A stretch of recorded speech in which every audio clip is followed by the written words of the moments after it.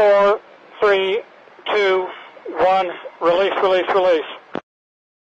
Richard Branson is one step closer to realizing his dream of space travel. Virgin Galactic Spaceship Two flew its first unmanned solo test flight in the Mojave Desert.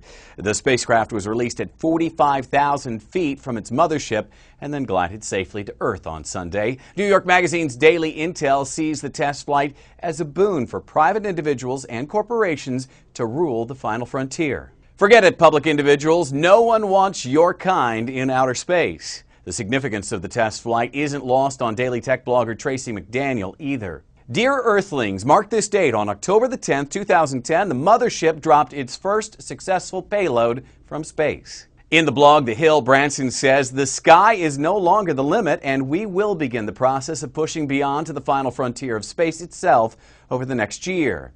Gearlog blogger Daniel Levine thinks private investment in space travel is good for the consumer. Hopefully, this means the price of a ticket will decline to a somewhat affordable point in which an average person will be able to purchase a ticket without wiping out their bank accounts. Blackbook blogger Jimmy M says this is a big deal, especially for those who have money riding on it.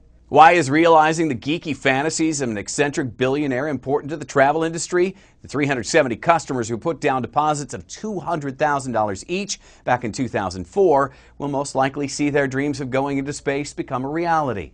There are about 80,000 people on the waiting list. So, what do you think about Branson's dreams? Houston, we have a problem, or ready for liftoff? I'm Jim Flink for Newsy.com. Multiple sources, the real story.